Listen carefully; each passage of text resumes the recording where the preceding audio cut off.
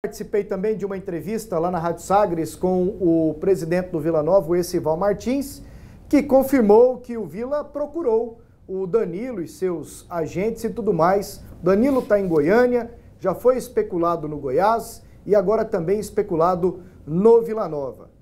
Esival chegou a dizer que seria um sonho contar com o jogador. Eu tive uma informação que estariam elaborando um projeto para levá-lo, é, já me negaram essa informação também envolveria questão de participação em venda de camisa e tudo mais. Com quase 40 anos, Evandro, o Danilo reforça o Vila?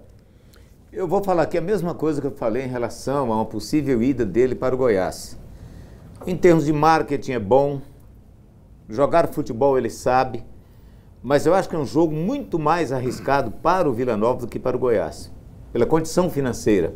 O Goiás pode bancar um gasto assim. O Vila não tem chance de errar. Ele não pode errar. Né? Se ele errar, ele se complica no investimento desse, desse nível. Mas é bom, porque pelo menos o presidente do Vila, o Essival, está pensando grande. E eu acho que tem que fazer isso mesmo. Aliás, o Essival falou algo hoje que foi o seguinte, Ian. É.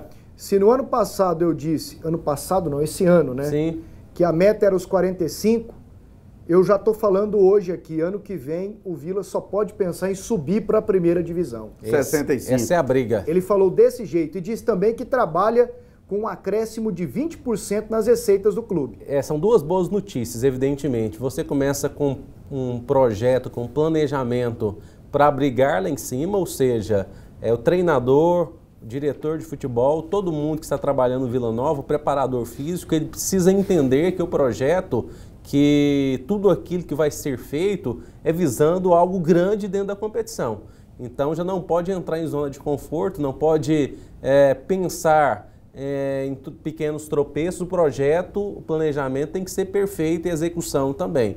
E outra coisa é o aumento de renda, o aumento de receita.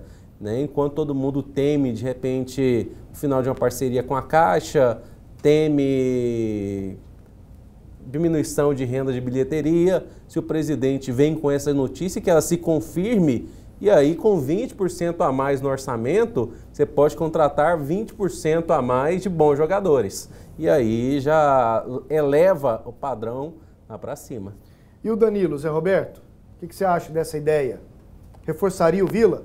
Claro que reforçaria o Vila. Agora eu lamento, mais uma vez, é, a conversa em vão, né? Não tem por que falar que uma coisa que você não conseguiu. Ah, eu quero falar aqui para vocês que a gente fez um projeto assim, assado, ia ser assim, papapá, vender isso e tal, mas não deu certo não. Quero falar para vocês que não deu certo. É, esse eu acho que é a, a tal da conversa fiada. Foi assim no caso do Walter, lá atrás. O presidente Essival falou do não, namoro. Mas não partiu dele. Foi, fomos nós que descobrimos e perguntamos e ele confirmou. Não partiu dele, ele não chegou falando. Tá, então vou mudar. Não partiu dele, então não deveria nem ter tentado, porque assim, é, me parece óbvio que não vai dar certo. Não vai dar certo. O Vila que não tem dinheiro para renovar com o Maguinho, o Vila que não tem dinheiro para renovar com o Giareta, o Vila que não tem dinheiro para renovar com quem mais? É... Com Washington, foi embora, com... É, dizem que tentaram Washington, o Moacir não sei se tentaram alguns aí que eu vi, o Giovanni, que foi lá para o Goiás, é, que eu acho né, que seria até mais importante que o Danilo, porque o Giovanni o Vila tá vendo de pertinho ali, né, bem de pertinho. Não estou comparando talento não, porque eu não sou tão bobo assim, só um pouco. É, então não é comparação de talento não, é, é, o Vila tá vendo ali tudo que o Giovanni fez lá.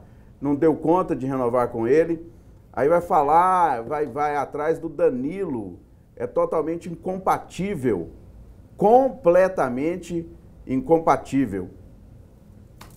Então é isso. Bora esperar agora para ver o que que vira, né?